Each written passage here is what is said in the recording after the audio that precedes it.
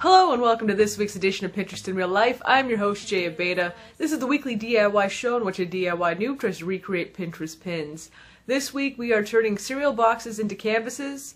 Um, you can really paint whatever you want on them, but I went for some kind of like abstract art type deal of mesh and colors and just fun stuff. So uh, let's go ahead and just check this out.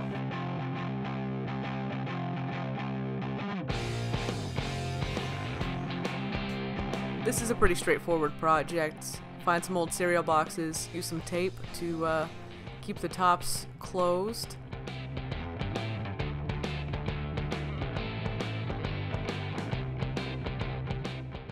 Paint it white, and then it's a blank canvas.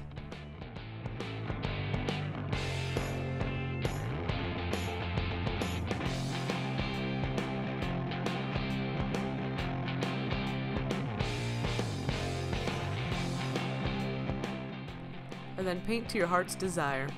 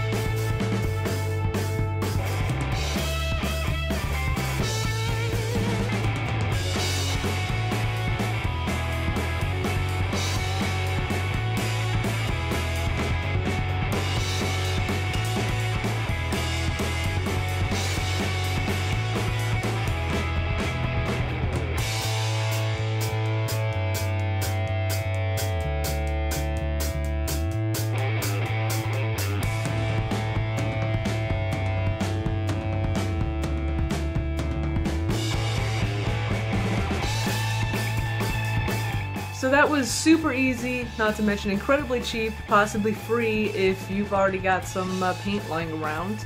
And uh, all you need to do is tape up some old cereal boxes and bam, you've got uh, some awesome wall art. So uh, hopefully you guys had fun with this. I definitely recommend trying this one out for yourselves and uh, have fun with it. Um, if you like this project, go ahead and give it a big thumbs up.